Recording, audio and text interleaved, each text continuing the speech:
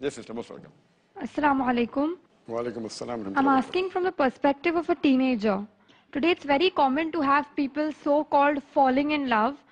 And um, I would like to know that how do I convince my Muslim friends who have so-called fallen in love to go about and how to refrain from falling into the vices of staring and stuff like that. And the second question is that uh, if the girl or guy is virtuous, then how should I ask them to go about? Sister has a question that now it's common amongst teenagers and among the friends that they fall in love. So how can she convince that falling in love is wrong? And what if the girl and boy are virtuous?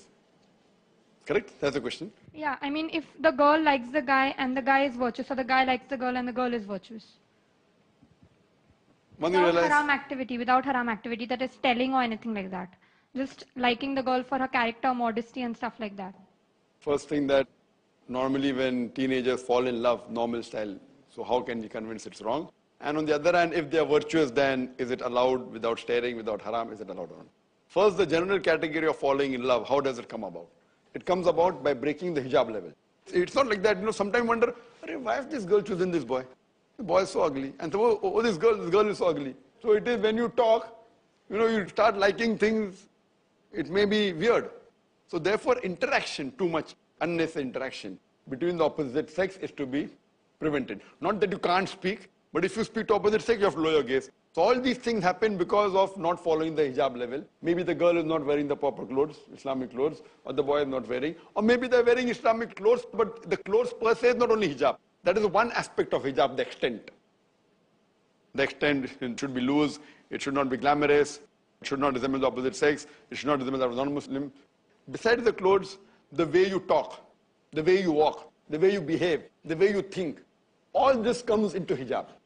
Just by wearing a clothing hijab, and if you don't talk properly, how are you? Uh, good. very good."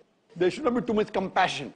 So automatic, whether you're wearing hijab, you know, how are you? There's so much of depth and so much of modulation and so much of love in the voice. The talking is not Islamic. That doesn't have to be stern always, you have to be normal. Same thing, the way you walk. You may wear a hijab and you may not walk properly. The way you think. You may wear a hijab and you may, you may stare and you may think, अरे क्या अच्छा है और क्या अच्छी है, whatever it is. You know, there's bird watching going on in schools and colleges. So talking, walking, thinking, heart, niyat, everything put together. So when the hijab is broken in any of these aspects, there are high chances that infatuation will come. And that's how Allah subhanahu wa ta'ala, our creator, Almighty God has made us. If you keep on talking, opposite sex and nothing happens to you, then require a psychiatrist. If you keep on talking often to an opposite sex and say, you know, I talk but nothing happens to me, then you require a psychiatrist. something has to happen. There's something wrong with you. Ah, if you follow Islamic principle, lowering the gaze, saying to be in the hijab level, then nothing happens, that is fine. They're not a normal human being.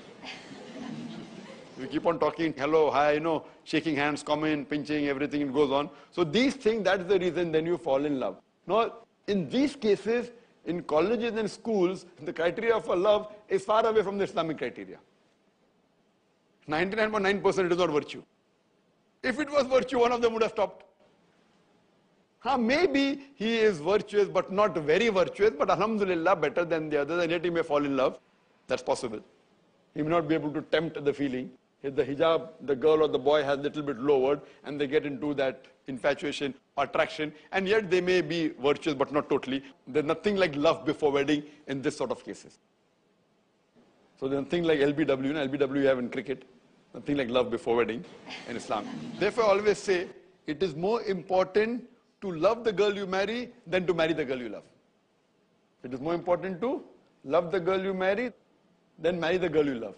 You know, we have these Romeo and Juliet, Laila Majnu, Shirin Farhad.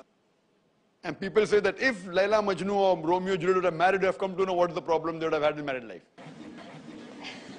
so it's always more important to love the girl you marry than to marry the girl you love. Now coming to the second scenario, where sister has asked that there's a girl and a boy. Both of them are Islamic, both of them are virtue, but they fall in love. One side, two sides, she didn't say. One side. One side. Two sides is difficult, no? to virtuous. So she's taken on the one side, falling in love with the person, and the thing is there that Islamic, is it allowed? So if a person is a virtuous girl, she is not breaking any rules of the hijab. She is following all the hijab rules, talking, walking, everything, alhamdulillah. But she knows of a person who is also virtuous. And she's fallen in love. Is it accepted? It is accepted. Accepted that she desires to marry a boy who she knows of, who is Islamic, it's accepted. But it's not the love that you have in today's age. So it is one-sided. The best is if she knows that she should propose. Simple. She should propose Islamically. Maybe through a brother, through a father, through uncle. Send the proposal. So if she's fallen in love, fine. That should not stay for long. Fine. As you said, teenage. Fine, teenage also no problem. On the higher side of the teen, no problem. Propose. Send the proposal.